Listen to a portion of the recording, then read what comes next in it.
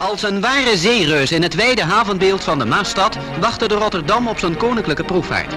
Koninklijk door de aanwezigheid van koningin en prins bij deze eerste officiële tocht, maar voor het vertreksignaal niet lang op zich liet wachten.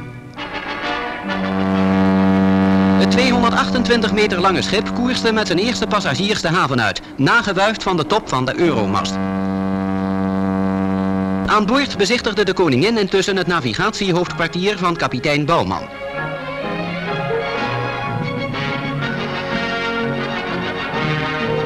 Prinses Margriet, het petekind van de koopvaardij, maakte de proefreis incognito mee. De genodigden hadden ruimschoots gelegenheid om kennis te nemen van de comfortabele inrichting van het schip.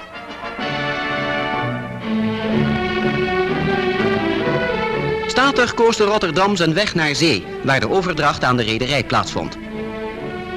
De vlag van de Holland-Amerika-lijn werd gehesen door koningin Juliana. Nee, de!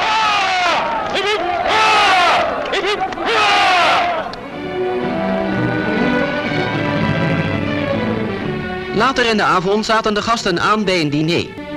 De hoofddirecteur van de Holland-Amerika-lijn, de heer de Monchy, bracht hier een toast uit op de bouwers van het nieuwe vlaggenschip.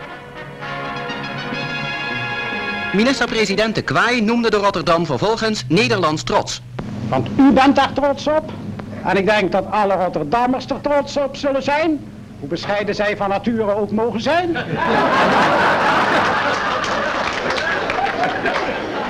maar zelfs die, och, laat ik zeggen, uit Brabant of uit Den Haag komen. wil Amsterdam niet overslaan.